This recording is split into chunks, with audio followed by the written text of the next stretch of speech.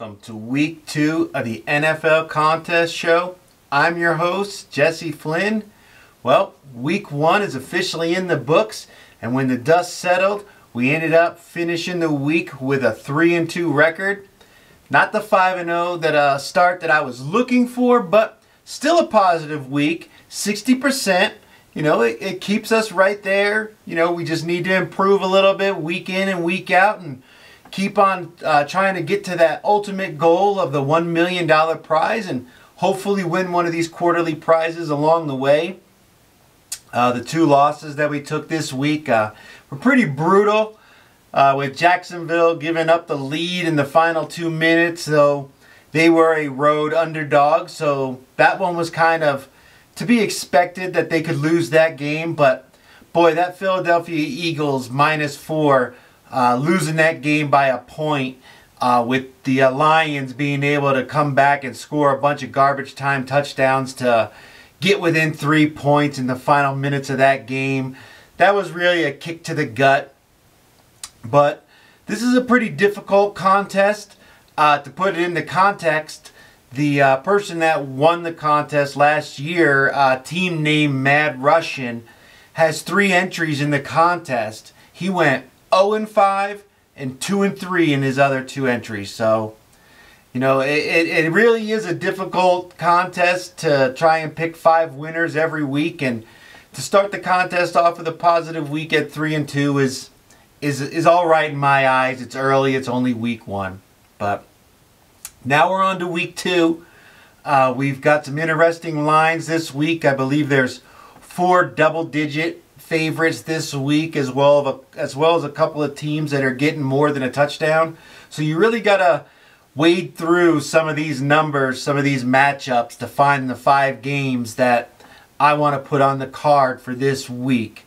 Well, I've made my five choices, so let's get into it and see what five games I like for week two of the NFL season.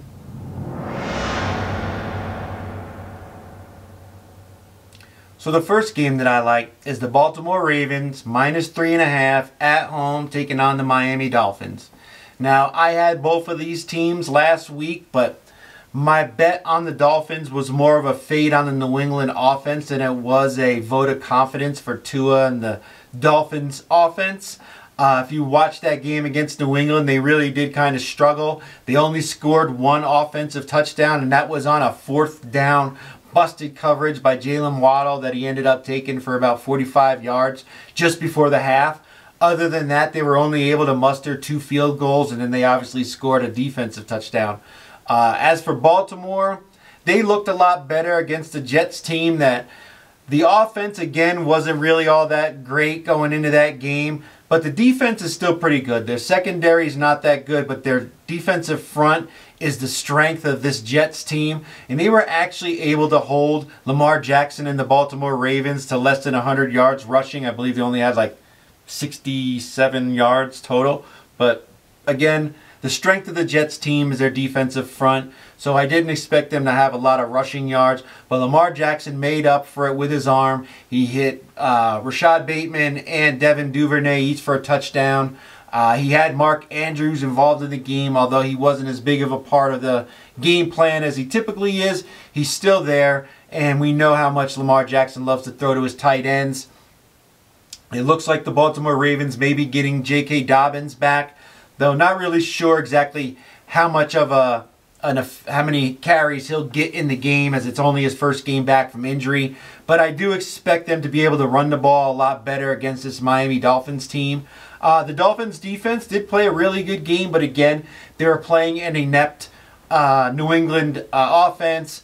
Uh, Mac Jones ended up getting hurt during that game, and again, we saw just how little they have in the wide receiver and running back departments during that game where they really didn't do much. Uh, Damien Harris was probably the, the one shining star in this uh, New England offense. But again, I think the Dolphins are getting a lot of love because they were able to pull off the win at home. And Baltimore may not be getting the respect they deserve because they beat up on a New, uh, New York Jets team that people don't have a lot of uh, high hopes for this season. And they were playing a backup quarterback with a banged up offensive line. But again, They were able to win this game handily, and now they're going home against this Miami Dolphins team. And I think the uh, being on the road for the Dolphins, I think the extra hype from the public, they're they're getting a little bit too much love than more than they deserve for their their week one win.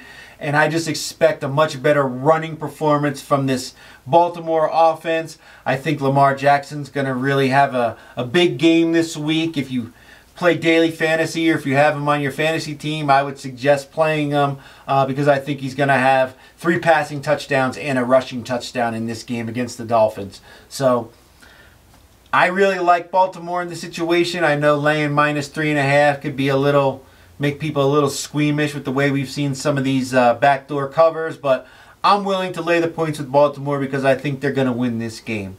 So for my first pick, give me the Baltimore Ravens minus three and a half. The second game that I like is the New Orleans Saints plus two and a half at home taking on the Tampa Bay Buccaneers. Uh, we saw New Orleans struggle for about three quarters before they finally were able to turn on the offense against the uh, Falcons to pull off that come from behind victory.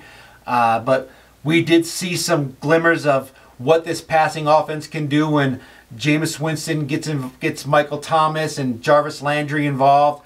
Uh, the defense is always going to be good. They kind of struggled a little bit uh, against the Falcons with their mobile quarterback, but we know Tom Brady is not a mobile quarterback. Uh, he does not like pressure up the middle, and one of the things that this New Orleans defense can do is cover wide receivers that gives their defensive line time to get after the quarterback, particularly guys like Cam Jordan, who have been disruptors uh, to Tom Brady ever since he signed on with the Tampa Bay Buccaneers. I believe his record so far in the regular season against New Orleans is 0 4. Uh, 1 and 5. They won one playoff game, but they've the New Orleans defense really has a formula on how to play this uh, Tampa Bay team. Uh, they like to put uh, Marshon Lattimore on Evan, uh, Mike Evans, and he really seems to work out because it kind of takes him out of the game plan. And now the Tampa Bay Buccaneers lost Chris Godwin in that game against Dallas.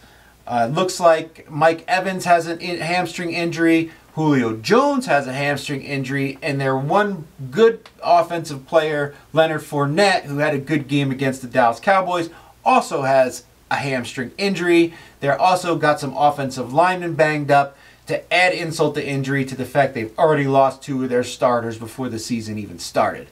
Uh, the Tampa Bay Buccaneers, they were able to pull off the victory against Dallas in week one, but again, they could only muster one offensive touchdown. Dallas's defense held them to field goals otherwise, and the Dallas offense was so inept that eventually the Dallas defense just got worn down because they had to keep playing so many plays against this Tampa Bay offense. But I don't see that happening this week.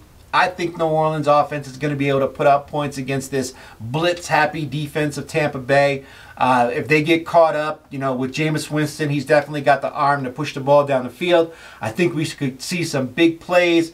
Uh, we could see a bunch of points in this game, but ultimately, I think the home field advantage for New Orleans, the defensive matchups that we've seen be uh, uh winning formulas for them in the past against Tampa Bay and Tom Brady I think all that adds up. And the fact that they're facing so many injuries going into this game, and it's only week two, so you don't really want to push these guys with hamstring injuries that could turn into season long, continuously nagging injuries. It's better to rest their guys for a week and let them get completely healthy. So I think we could see this Tampa Bay offense missing quite a few of their key offensive players, and that could be enough to give New Orleans the victory. So for my second pick, give me the Saints plus two and a half. So the third game that I like is the Washington Commanders plus one and a half heading to Detroit to take on the Lions. Now I faded Washington last week and I was pretty critical of both Carson Wentz and their coach Ron Rivera, but you know, Carson Wentz is Carson Wentz. He can still make plays. He's still athletic. He's still a competent quarterback. He just makes bad decisions at certain times. Uh, he had two interceptions in that game against Jacksonville last week, but he also had four passing touchdowns and, you know, had led them on the game winning drive. Uh, I, I liked what I saw from Washington's defense, particularly their defensive front. They were able to get a couple of sacks on Trevor Lawrence, and I think they had like six or seven quarterback hits. So the front four for this defense definitely showed up last week, and I think that may be a continual theme. Looks like they may have gotten uh, a little bit better in the in the secondary, and so that definitely helps with the the getting pressure on the quarterback. And I can just see Jared Goff. He kind of struggled last week until it was garbage time when they just went to their, you know, hurry up offense trying to get back into that game against Philly. But we saw him throw interceptions last week. We saw the missed uh, receivers, you know, the bad throws. The Jared Goff, when he gets pressured up the middle by the defense, certainly, you know, showed up last week. And I just think we're going to see that again. It looks like Detroit might be missing uh, D'Andre Swift, their running back. That you know he had over well over 100 yards against the Eagles last week. I don't think he's playing, so they could certainly be missing another key offensive player. And then on the defensive side of the ball, they couldn't stop the run against the Eagles. And I think that Washington will lean a little bit more heavily on Antonio Gibson and some of their other running backs that they have and try to punish this defensive front to set them up for the big shot downfield. And uh, the secondary for uh, Detroit is still a work in progress. They're not very good. As hard as they play for their coach, uh, you know, they're just they're just a few key pieces away from actually being a good team. And now they're going up against this Washington team that, you know, a lot of people aren't giving them a lot of credit because of Carson Wentz, but, you know, they looked okay. And I think they're going to be able to win this game. So for my third pick, give me the Washington Commanders plus one and a half. So the fourth game that I like is the Philadelphia Eagles minus two at home taking on the Minnesota Vikings. Now, I had both of these teams last week. Obviously, the Vikings got the W. Philly won the game, but didn't cover the spread by a point. I think that the Vikings are getting a little bit too much love after that showing against Green Bay. Uh, when the reality is, as good as Justin Jefferson and the offense looked at times in that game, they still struggled quite a bit against that Green Bay defense. And a lot of the victory for the Vikings had to do with Green Bay just not being able to maintain drives. They their their wide receivers really let them down. I mean, obviously the uh, the opening play, which would have been a touchdown, was dropped by one of their wide receivers. I mean, that certainly changes the the the way this game shakes out. And there were certainly some other plays by their wide receivers that, had they made them, could have certainly changed the outcome of this game. Now Minnesota's got to go to Philadelphia, a hostile environment, an outdoor stadium, uh, in prime time, the late Monday night game.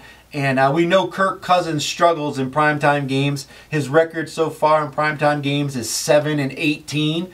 So it's hard for me to back a guy who just seems to not really get the job done when the lights are the brightest and when everybody's watching even though they've got some really dynamic players on this team.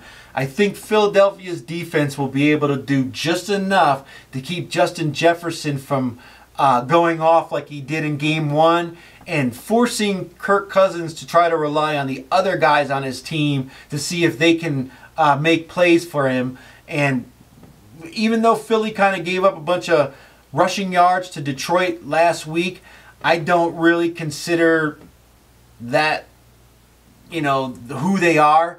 I think that was a one game off uh, for a you know a game that the teams had been preparing for for weeks, and now they've got to go into the second game of the season with limited time to prepare. You know, uh, yes, the Vikings do have uh, some decent running backs, but even uh, you know uh, a Cook kind of struggled until around the fourth quarter when the uh, uh, the Green Bay Packers defense was just worn out from being on the field so much. I don't think that's going to happen this week. I don't think the Vikings again are going to have the benefit of playing indoors at home. This is Philly's first home game.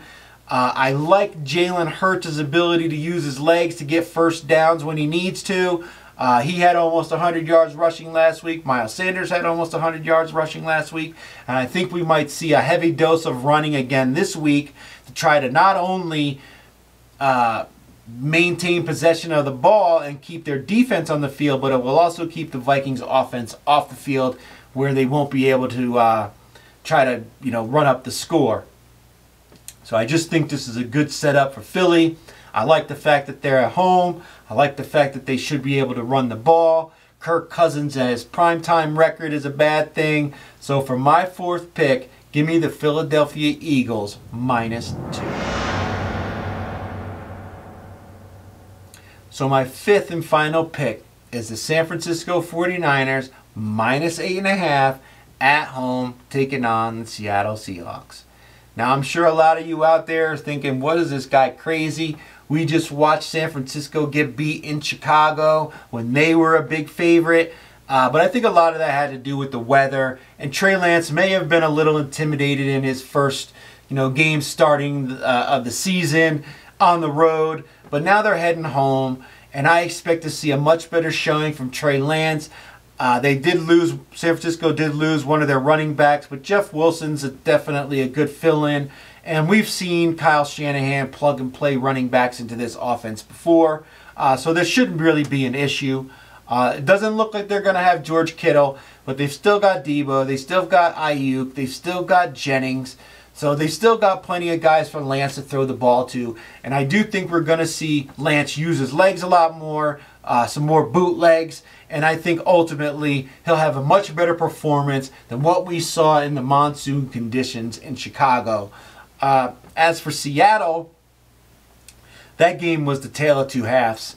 Uh, we saw Geno Smith come out with a preset game plan and just look like the greatest quarterback that ever lived. I think he went almost 17 for 17 to start the game.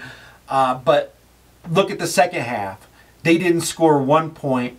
They had negative yards in the fourth quarter. Had it not been for those fumbles along the goal line for Denver, Denver, I think, outgained them by 200 yards. They easily should have won that game if not for those turnovers. And I think the Seattle is just getting a lot of love because of the first half performance in that game and the fact that they were ultimately able to get the victory in the game, even though they were outplayed at almost every aspect of the game by the Denver Broncos. I expect to see a really good performance from the 49ers defense this week. I think we could potentially see a couple turnovers by Geno Smith.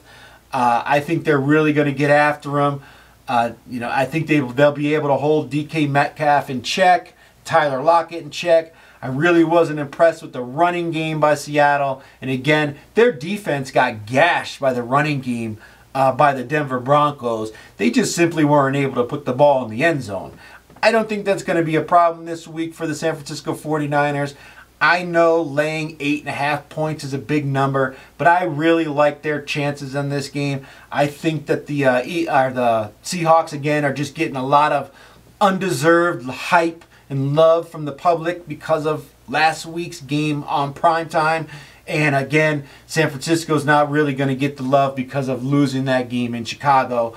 But putting out a point spread like eight and a half is the books telling you that they are begging you to take Seattle and take all these points because the reality is I don't see them scoring many points and I think San Francisco runs away with this game. So even though it's a big number, for my fifth pick, I'm going with the San Francisco 49ers minus eight and a half.